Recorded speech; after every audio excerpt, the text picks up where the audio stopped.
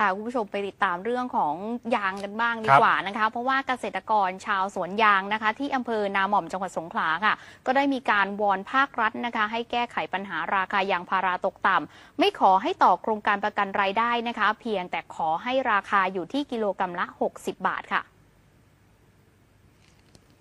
บรรยากาศการซื้อขายที่จุดรับซื้อน้ำยางสดนะคะ ในพื้นที่ของหมู่ที่ 7 ตำบลทุ่งขมิ้นอำเภอนาหม่อมจังหวัดสงขลา ในช่วงนี้ค่ะ เกษตรกรชาวสวนยางพาราค่ะเขาได้มีการเดินทางเข้ามาขายน้ำยางสดค่อนข้างที่จะบางตานะคะ เนื่องจากว่าบางรายเพิ่งกลับมาจากกรีดยางได้เพียงแค่ 3 วัน จากสถานการณ์ก่อนหน้านี้ค่ะก็คือเกิดฝนตกหนักอย่างต่อเนื่อง ไม่สามารถที่จะกรีดยางพาราได้ ซึ่งสถานการณ์ฝนนะคะ ก็ส่งผลกระทบทำให้ผลผลิตปริมาณน้ำยางสดลดลงด้วยเช่นกัน ขณะที่เกษตรกรชาวสวนยางพาราในพื้นที่เขาก็บอกกับทีมข่าวนะคะว่า ขณะนี้ต้องเจอกับราคายางพาราที่ตกต่ำน้ำยางสดนะคะอยู่ที่กิโลกรรัมละ 40 ไปจนถึง 41 บาท ซึ่งเดือนที่ผ่านมาสามารถกรีดยางได้เพียงแค่ 5-6 วันเท่านั้น เพราะว่าเป็นช่วงหน้าฝนค่ะ แต่โดยปกติแล้วนะคะ ตามกลไกในช่วงฤดูกาลนี้ ราคารับซื้อยางพาราจะปรับสูงขึ้น แต่ปีนี้กลับดิ่งลงนะคะ แล้วก็คงที่ไม่ราคาที่ค่อนข้างที่จะต่ำซึ่งสวนทางกับราคาสินค้าค่าครองชีพที่สูงหลายเท่า ส่งผลกระทบต่อการเลี้ยงชีพของกลุ่มเกษตรกร ต้องหาอาชีพเสริมเข้ามาช่วยทดแทนในการประคองความอยู่รอดนะคะ รวมไปถึงเกษตรกรบางรายค่ะ ก็เป็นเพียงแค่ลูกจ้าง รับจ้างกรีดยางเท่านั้น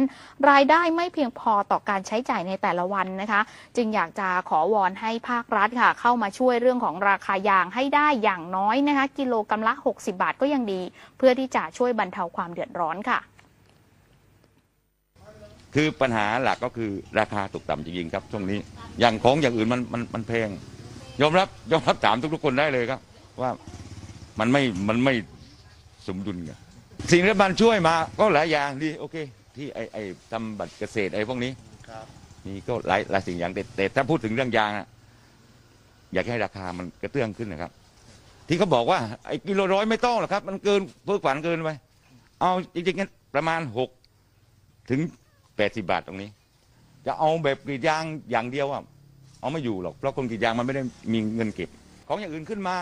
ไอ้นู้นอย่างละบาทไอ้นี้สองบาทไอ้นี้ห้าบาทนี้แก๊สไอ้นู้นไอ้นี้ขึ้นเท่าไหร่ยางก็เราอยู่อยู่แค่นี้แหละ แล้วยางพอกรีดไปกรีดไป มันไม่ได้กรีดแล้ว วันนี้ได้สิบกิโลพรุ่งนี้ได้สิบสองมันลืมได้สิบสามเถี่ยวันนี้สิบกิโลพรุ่งนี้อาจจะเหลือเก้าคือคนคนที่คนกรีดยางเขาจะเข้าใจนะครับด้านนางสุพนุษยกสิริครับ ผู้รับซื้อน้ำยางนะครับ หลังหลาก็ได้บอกนะครับว่าปัญหาหลักก็คือเรื่องของราคาน้ำยางที่ตกต่ำมากนะครับในบางครั้งราคาที่รับซื้อแล้วก็นำไปส่งต่อโรงงาน แทบไม่มีกำไร